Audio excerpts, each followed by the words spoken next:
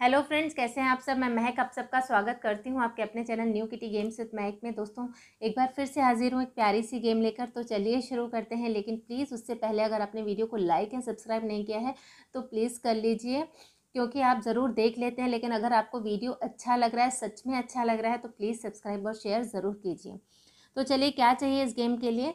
इस गेम के लिए हमको, मैंने एक चार्ट पेपर पर एक फ़िश जैसा स्ट्रक्चर ड्रॉ किया है। ये कैसे ड्रॉ किया है? पहले मैंने एक ट्राइंगल बनाया है। उसके बाद एक लाइन खींच के उसके ऊपर फिर से दो ट्राइंगल बनाए हैं। फिर एक लाइन खींच के फिर तीन, फिर चार, फिर कम करती गई मैं ट्राइंगल जब आप ये बनाने लगोगे तो आपको भी इजी लगेगा, इसमें कुछ भी टफ चीज़ नहीं है और एक मैंने फ़िश की आइज़ को भी ड्रॉ किया है, ठीक है? उसके बाद एक बिंदी का पैकेट चाहिए और कुछ माचिस की तीलियाँ चाहिए, ठीक है? और दो डाइसेस चाहिए। तो अब क्या होगा? अब जब भी किटी मेंबर खेलने आएगा तो उसको उसके लिए आप एक मिनट का टाइम सेट करेंगे, ठीक है? उसको ये दो डाइसेस चलाने हैं, ठीक है? डाइसेस जब वो चलाएगा, तब उनके काम की चीज़ें क्या होंगी? जो कि तीन के टेबल में जितने भी नंबर आते हैं ना, जब जब भी उसके वो नंबर आएँगे तो ही उसको ये माचिस की तीलियाँ यहाँ रखनी है। जैसे three six nine twelve fifteen eighteen ठीक है? ट्वेंटी वन इस टाइप के जो भी नंबर आएँगे, तभी उसको यहाँ पे रखना है, जो भी थ्री के टेबल में नंबर आते हैं, ठीक है? और उसके बाद बिंदी का क्या काम है और विनिंग कैसे डिसाइड होगी, वो मैं आपको बताती हूँ। तो चलिए जल्दी से खेल के देखते हैं, थोड़ा सा गेम कैसे करना है। तो जैसे कोई भी किटी मेंबर आया है उसका टाइम स्टार्ट हुआ और उसने चलाया। ये फोर ये फोर उसके किसी काम का नहीं है, ठीक है? फोर फाइव सिक्स सेवन ये भी उसके किसी काम का नहीं है।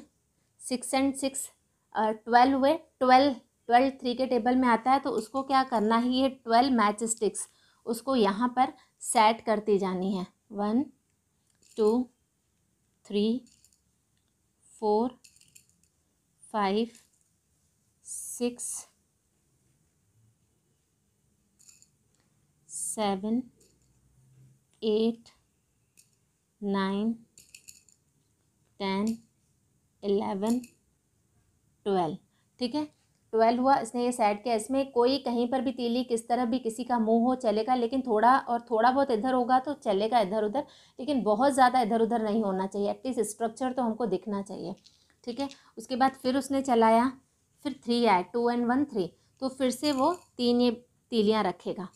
वन टू एंड थ्री ठीक है? सपोज़ उसका टाइम यहाँ पर ख़त्म हो जाता है। तो अब उसकी विनिंग कैसे डिसाइड होगी? उसने जितनी भी तीलियाँ रखी होंगी, वो उसके नंबर्स होंगे, ठीक है?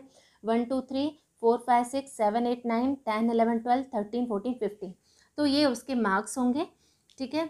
लेकिन सपोज़ किसी भी किटी मेंबर का यहाँ तक कंप्लीट हो जाता है, उसकी लग बहुत ही अच्छी है और वो यहाँ तक उसके ये सारे कंप्लीट हो जाते हैं। जैसे ये ये सब भी कंप्लीट हो गए और उसके बाद भी अगर उसके नौ निकले, ये दो बच्चे हैं और नौ निकले हैं तो भी उसको ये बस छः कंप्लीट करने हैं, ठीक है? और उसके बाद भली तीन और भी उसके मार्क्स हैं, लेकिन वो रहने देगा, लेकिन ये कंप्लीट हो जाने के बाद उसको क्या अगर जिसका भी ये कंप्लीट हो जाता है ना, उसको दो चांसेस एक ही डाइस की दी जाएँगी, ठीक है? जैसे अगर उसका उसमें उन दो चांसेस में वन नंबर निकलता है तो वो यहाँ पर बिंदी रख पाएगा, नहीं तो उसकी केवल अभी तक फ़िश ही कंप्लीट है, ठीक है? जैसे अगर किसी का यहाँ तक भी कंप्लीट हो चुका है तो थ्री चलाया, एक चांस, दूसरा चलाया, चार चांस, यानी वो अभी तक भी बिंदी नहीं रख पाएगा।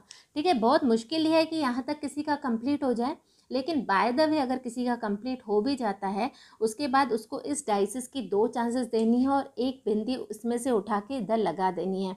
तो यानी वो तो फ़र्स्ट विनर होगा ही।